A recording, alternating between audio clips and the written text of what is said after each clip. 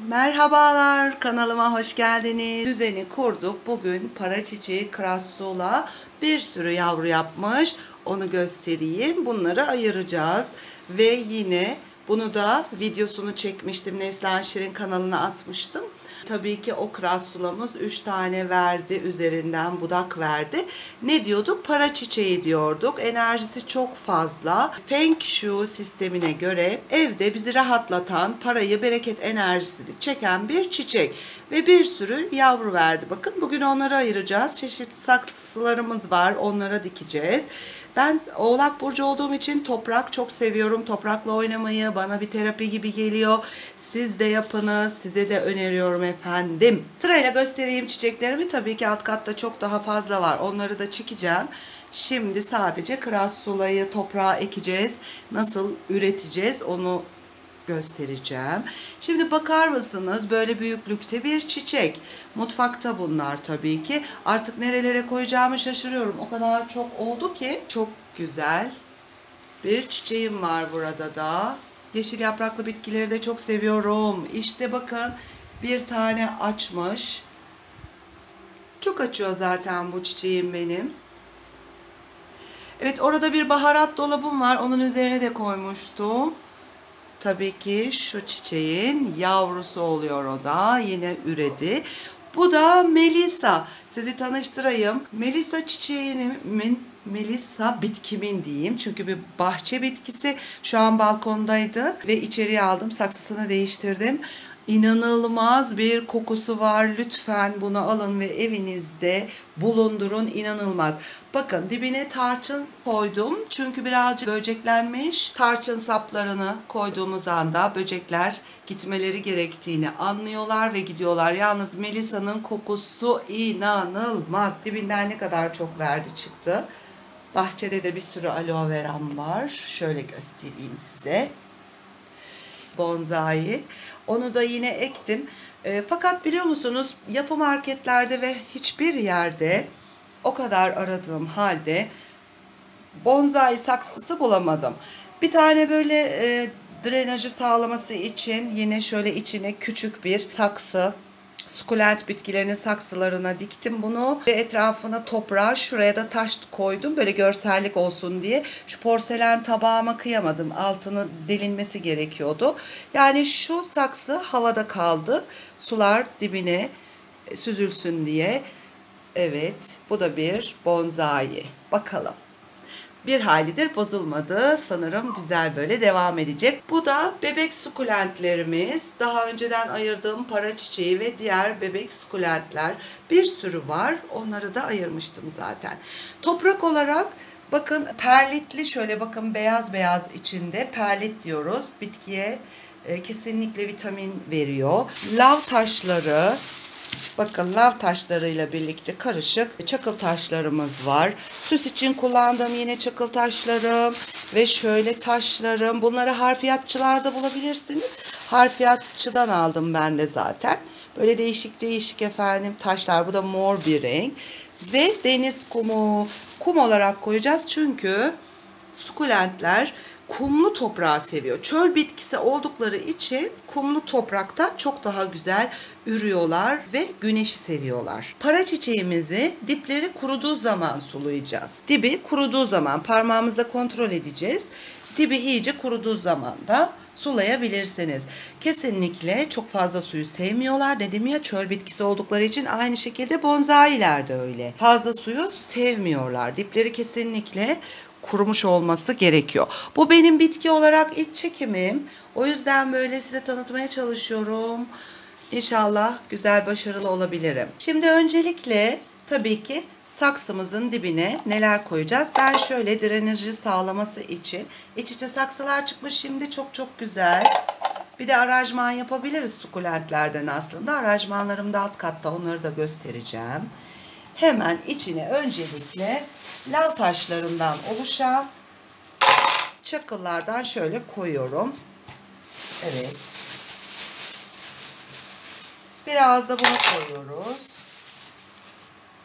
Ben bu arada bebek sukulentleri saksıya böleceğim. Büyük sukulentimizi de bir saksıya toparlayacağım. Evet anne sukulenti bunların yanına dikeceğim. Yani büyük olanı, küçük olanları da küçük saksımıza dikeceğiz. Öncelikle dibine biraz kum koyuyorum.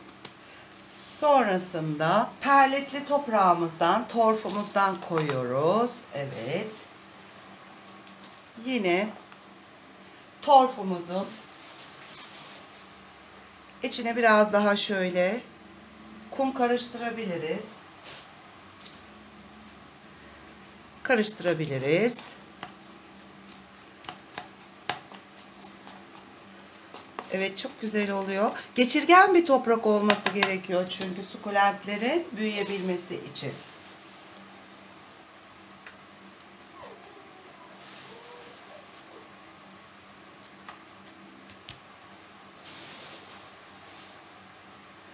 şu şekliyle karıştırıyorum. İsterseniz bunu bir kapta karıştırıp da böyle karışık olarak da koyabilirsiniz. Yani kum ve torfu.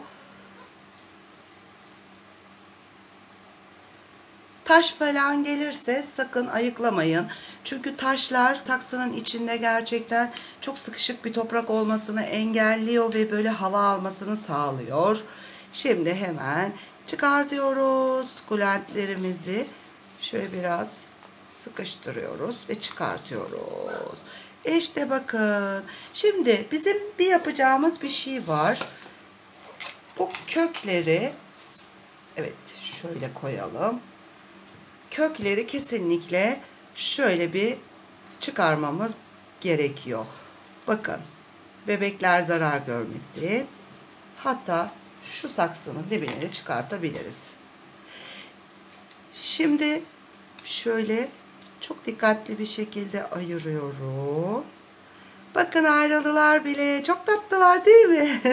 Minik para çiçeklerimiz. Bir tane şurada kaldı. Yine onu da çok dikkatli bir şekilde önce topraklara ayıralım.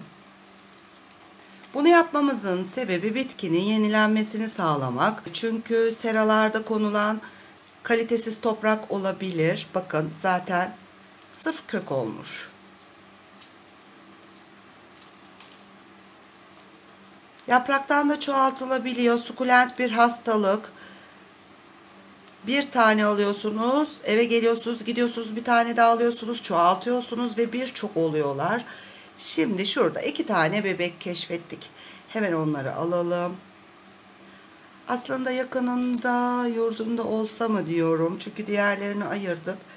Bu da böyle üresin ve çoğalsın istiyorum aslında. Ama yine alalım biz daha çok saksıda bebeklerimiz olsun. Çok dikkatli bir şekilde köklü almaya çalışıyorum.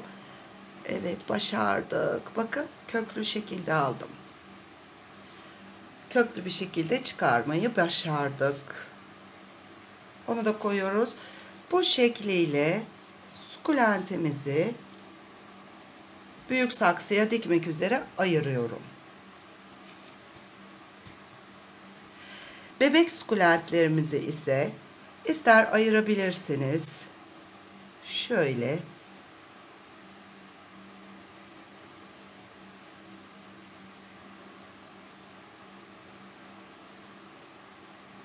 Çok dikkatli bir şekilde 2-3 yere dikeceğim için ayırmaya çalışıyorum. En ufak bir hata evet köksüz olarak ayrılmalarına sebep olabilir. Çok riske girmeyeceğim bunu.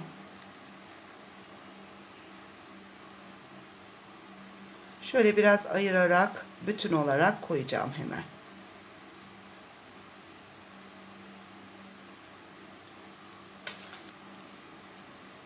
Çok bastırmıyorum. Şuraya ayırdığımız iki tane bebeğimizi de yine bu sırf para ağacı olsun bu saksımız. Şöyle hemen yüzeye gelecek şekilde onu da yerleştiriyorum. Kökleriyle toprağa tutunacaktır. Kesinlikle tutunur. Biraz boş kalan yerlere toprak koyabiliriz.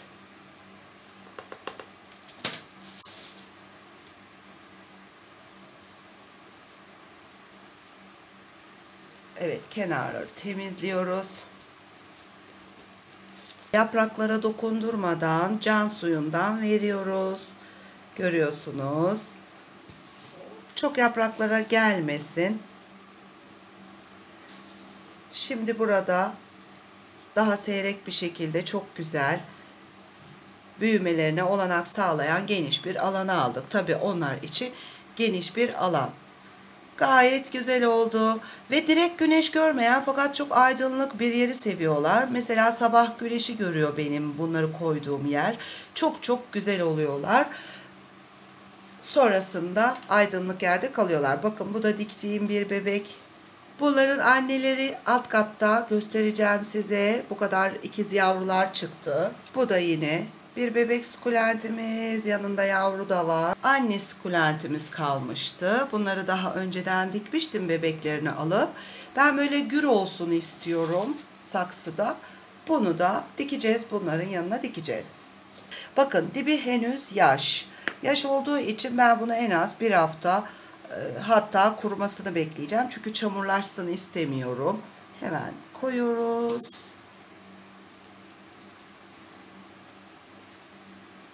Kesinlikle biraz hafifçe bastırın. Evet.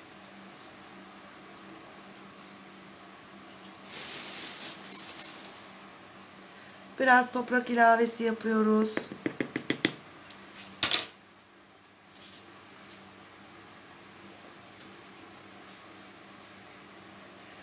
Benim altında fazla alınacak yaprağı yoktu. Aslında sukulent bitkilerden yapraktan üreme oluyor. Onu da göstereceğim. Onun için yaprakları koparmadım. Bakın ne kadar güzel oldu görüyorsunuz para çiçeklerimiz. Maşallah deyiniz lütfen çünkü bakar mısınız şunlar iki tane üç tane e, tekrar yavru verdi. Şu yeni diktiğime hemen can suyu veriyorum. Çok fazla sulamıyorum çünkü zaten toprak nemli. Bebeklerimiz de buraya ayrıldılar. Şimdi bir tane daha sukulentimiz var. Hemen onu da ekebiliriz. Ve yanına aranjman olarak şuradaki sukulenti koyabiliriz. Bakın bu da çok çok güzel. Para çiçeğimizin yanına koyabiliriz ya da uzun bir saksıya koyabiliriz. Şimdi burada gördüğünüz bu para çiçeği, diğerlerinin yaprakları kırmızı kırmızı bunların. Bu sade bir çiçeğimiz. Zaten kırılan bir yaprak var. Bunu buradan hemen alıyorum ve bunu üretim için kullanacağım. Çıkarıyoruz.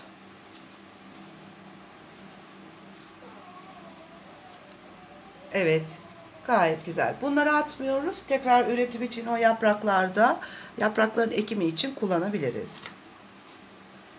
Yine bulunduğu saksıya yapabilirsiniz. Yalnız biraz kum ilave edeceğim. Tabii ki bakın burada bir yaprağımız kaldı. Onu da şöyle dibinden asla hasar görmeyecek şekilde iki tarafa sallarsanız zaten çıkıyor. Şöyle yapıyoruz. Dipten almak istiyorum ya da çok dibinden kıracaksınız. Aldık. Biraz kum ilavesi yapıyorum.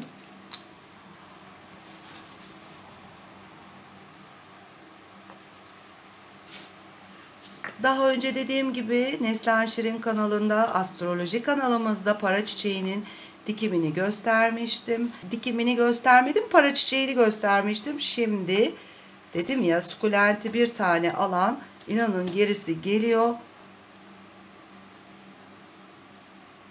Ve kenarlarına toprak ilave edeceğim. Şimdi buradan da bir sap ayıracağım bu sukulentten de. Bakın zaten görüyor musunuz? Kökler çıkmış, uzamış. Biz de bu kökleri köklü olanı alacağız ve bir aranjman yapacağız. Biraz derine ekiyorum ki alt yapraklarını aldığımız için daha sağlam bir şekilde koyabilelim yerine. Şimdi bunun şuradakini ayıralım. Köklerinden biraz temizliyorum. Temizlerken zaten yavrular da meydana çıkmış olacak. Ona göre ekeceğiz. Evet şu zaten bakın geliyor elime. ayrıldı. Çok güzel. Bunu buraya ekelim. Bunu ayrı bir saksıya ekeceğiz. Şu kiremit saksıya ekmek istiyorum onu da.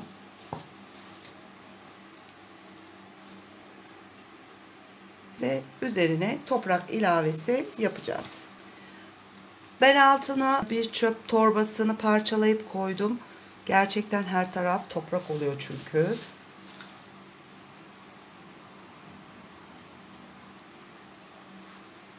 Onu da ekiyorum. Dibinden bastırıyorum biraz ve serbest bırakıyorum. Toprağı çok bastırmayın. Bu da çok güzel bir aranjman oldu. Bakar mısınız?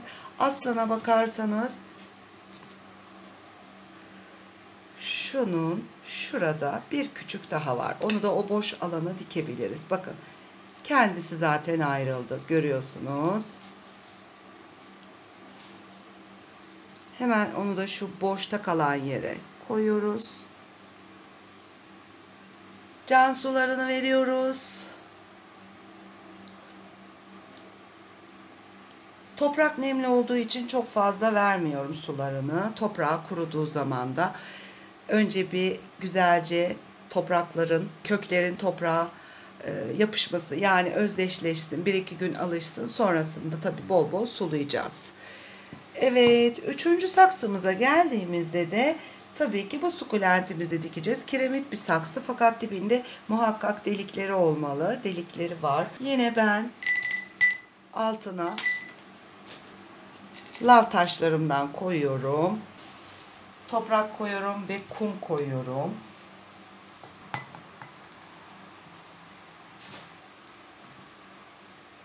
Karıştırıyoruz. Bir hayli evet zaman ayırmak gerekiyor ama çok e, zevkli ve gerçekten işte insanı psikolojik olarak rahatlatan toprak. Bir canlı ile uğraşıyorsunuz şu anda.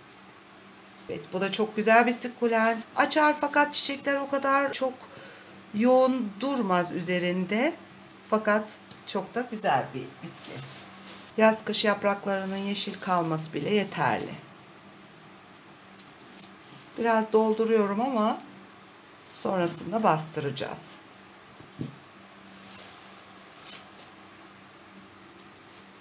Biraz bastırıyoruz diplerini.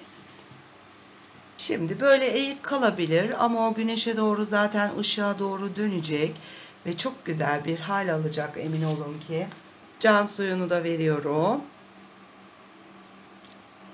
Ve böylelikle sukulentlerimizi yavrularından ayırdık. Gösterelim yakından. Bakın. Burada da vardı zaten. Daha önce ayırdıklarım. Annelerin hepsini bir yere topladım. Daha gür dursunlar diye. Bu da en baba çiçeğim. Gözüne bakıyorum. Bonzaimiz bakalım ne hale gelecek. Şimdilik bir bozulma olmadı çok şükür. Kanalıma abone olduğunuz için çok teşekkür ediyorum. Gerçekten sizlere göstermek istedim. Özellikle para çiçeği bulunduğu ortama çok güzel bir enerji yayıyor Krassula. Ve Neslihan Şirin Krassula yazarsanız çok da iyi bir izleme oranı aldı. İzleyebilirsiniz. Tekrar Krassula çiçeklerinin bebeklerini ayırdık. Bu videoyu da izleyebilirsiniz. Yatak odalarınızda bulundurabileceğiniz iki tane çiçek var. Krassula ve Aloe Vera. Bunlar çünkü gece uyurken karbon monoksit salgılamıyorlar. Bizlere iyi gelen bir enerji salgılıyorlar. Havayı temizleyici bir faktörü var bunların. Bu çiçeği spiritüel bir anlamı olduğu için de sizlere tanıtmak istiyorum. Hoşçakalın. Kanalıma abone olmayı unutmayın. Zildirim tuşuna da basınız. İlk izleyenler için söyleyebilirim. Bitki videosu fakat ben astroloğum. Neslihan Şirin astroloji kanalım var ve tarot bakıyoruz. Astroloji, melek kartları. WhatsApp numaram özel danışmanlık için bu videonun altına bırakıyorum. Hoşçakalın.